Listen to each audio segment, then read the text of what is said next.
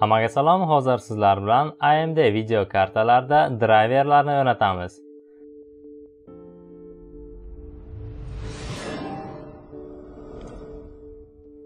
Demak, birinchi bo'lib drayverimizni aniqlab olamiz. Buning uchun mo'y kompyuterdan o'ng tomonni bosib управление bo'limiga kiramiz. So'ngra bu yerdan dispetcher устройств. Ushbu bo'limda ikkita video kartani ko'rishimiz mumkin. Birinchisi Intel HD Graphics 620 bu protsessorni ichida joylashgan, integrallashgan video karta, ikkinchisi esa diskretnaya. Agarda sizda video kartani nomi yozilmagan bo'lsa, unda mana bu yerga so'roqcha bo'ladi hamda ushbu so'roqchaga o'ng tomonni bosib свойства berasiz. So'ngra сведения degan bo'limga o'tasiz ushbu bo'limdan esa id оборудование degan bo'limga kirasiz. Bu yerdan o'ng tomonni bosib kopirovat qilib olasiz so'ngra brauzerni ochib david nuqta info saytiga kirasiz. Ushbu bo'limga iskat degan bo'limga ushbu boyagi kopirovat qilgan narsamizni вставить qilamiz. So'ngra ushbu bo'limdan keyingi qismini ya'ni ikkinchi mana bu значокdan keyingi qismini o'chiramiz. Shunchaki iskatni bosamiz. Ko'rib turganingizdek bizga video kartamizni nomi kelib chiqdi. Bu radeon 530 ekan. Biz aynan mana shu saytni o'zidan operatsion tizimimizni belgilab mana bu yerdan skachat qilib drayverni ko'chirib olishim mumkin. Lekin sizlarga video kartani uning ishlab chiqaruvchisini rasmiy saytidan ko'chirib olishni maslahat beraman. Menda bu amd demak amd.com saytiga kiramiz. Ushbu bo'limdan drayveri и поддержка degan bo'limga kiramiz. Agar sizga boshqa til bo'lsa bu yerdan rus tilini belgilang. So'ngra ushbu oynadan pastga tushamiz hamda o'zimizda video kartamizni qidiramiz. Bu yerdan graphics degan bo'limga kiramiz. So'ngra video kartamizni izlaymiz. Menda bu 530 demak 500 seriyani ichida radeon 500 seriyaga bosamiz. 500 seriyani ichida ham bir nechtasi bor. Misol uchun rx 500x e, seriyasi yoki rx 500x menda bu 500 seriya shunchaki ushbu bo'limga bosamiz. Hamda video kartam kelib chiqdi mana radeon 530 agar sizda aynan video kartangiz kelib chiqmasa unda unga yaqin video kartani oling. Misol uchun 530 bo'lmagan taqdirda men 520 ni yoki 535 ni olib установить qilib ko'rgan bo'laydim. Demak ushbu bo'limdan 530 ga bosamiz hamda отправитьni bosamiz. So'ngra ushbu bo'limdan windows 10 ni belgilaymiz ya'ni o'zimizni operatsion tizimimizni belgilaymiz hamda skachatni bosamiz. Fayl hajmi 479 megabayt sanasi esa 2020 yil ya'ni 23 aprelda обновить bo'lgan. Bu yerdan saqlanitni bosamiz hamda ushbu fayl bizga ko'chirila boshlaydi. Agar sizda bu yerda hech narsa ko'rsatmasa ya'ni so'roqcha ham bo'lmasa agar unda vid bo'limiga kirasiz hamda показать скрытые устройства degan bo'limga kirasiz so'ngra bizga ushbu so'roqcha ko'rsatila boshlaydi. Agar sizda ushbu bo'limda video kontroller degan bo'lim bo'lsa unda o'ng tomonni bosib свойства qilib сведения bo'limidan id оборудование degan bo'limni ko'ramiz hamda david id saytidan foydalangan holda ushbu kompyuter qurilmasi aynan nima ekan ekanligini aniqlab olamiz. Fayl ko'chirib bo'lindi demak videokarta drayverni o'rnatishdan oldin siz agar sizda o'rnatilgan bo'lsa eskisini udalit qilishingiz mumkin. Buning uchun shunchaki o'ng tomonni bosamiz hamda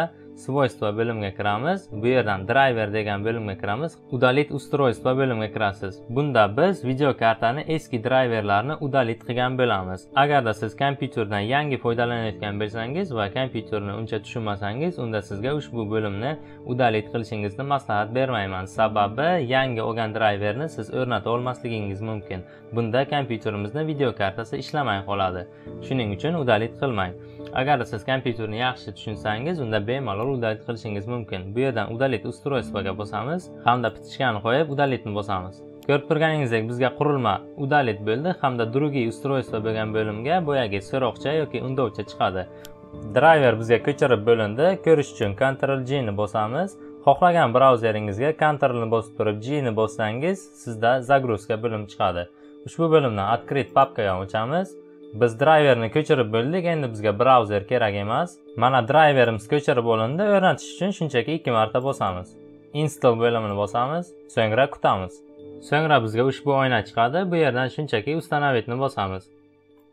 So'ngra ushbu oynadan shunchaki завершитni bosamiz. Ushbu oyna chiqadi bu yerdan быстрая настройкаga bosamiz. Ushbu bo'limdan men standartni belgilayman siz agar kompyuter o'yinlarini o'ynasangiz igra yoki kibersportni belgilashingiz mumkin. Продолжительni bosamiz bu oyna chiqadi ushbu oynani shunchaki yopamiz hamda tekshirib ko'ramiz o'ng tomoni bo'lsa управлениеga kiramiz bu yerdan dispetcher устройств degan bo'limga kiramiz hamda video adapter.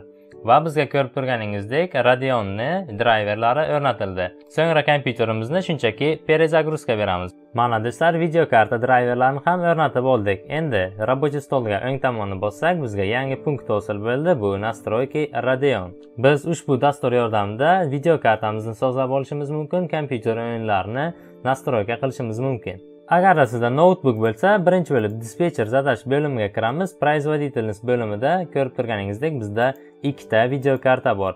Agar biz biror bir dasturni ochsak agar misol uchun yandex brauzerni ochamiz ushbu yandex brauzer bizda integrallashgan videokartada ochiladi. Sababi integrallashgan videokarta kam elektr quvvati talab qiladi va shuni hisobiga noutbugimiz ko'p zaryad saqlaydi. Lekin integrallashgan videokarta sekin ishlaydi. Agar sizda diskretniy videokarta bo'lsa ya'ni integrallashdan tashqari yana videokarta bo'lsa biz ushbu dasturni diskretnaya videokartaga sozlab olishimiz mumkin va bunda ushbu dastur bizda tez ishlaydi. Buni yandex brauzer misolida ko'ramiz. Buning uchun birinchi bo'lib brauzerimizni zakrit beramiz. So'ngra рабочий stolga o'ng tomonni bosib parametri ekrani degan bo'limga kiramiz. So'ngra ushbu oynadan pastga tushamiz hamda Настройки grafiki degan bo'limga kiramiz. Ushbu bo'limda obzorni belgilaymiz hamda Yandex brauzerimizni ko'rsatamiz. Menda bu рабочий stolda joylashgan, demak, рабочий stolga kiraman, program papkani ichida kiraman. Sizda рабочий stolni o'zida bo'lishi mumkin. Bu yerdan Yandex brauzerni belgilayman. So'ngra ushbu bo'limdan parametri degan bo'limga kirasiz hamda высокая производительность, ya'ni kuchli ishlash unumdorligi ushbu bo'limga belgilaymiz hamda сохранitni bosamiz. So'ngra zakritni bosamiz. Endi biz yandex brauzerni ochsak agar ushbu yandex brauzer integrallashgan video kartada emas balki diskretniy video kartada ishlay boshlaydi. Ko'rib turganingizdek diskretniy video karta ishlab ketdi ya'ni 16% 5% va bunda ushbu brauzer bizda oldingiga nisbatan tez ishlaydi.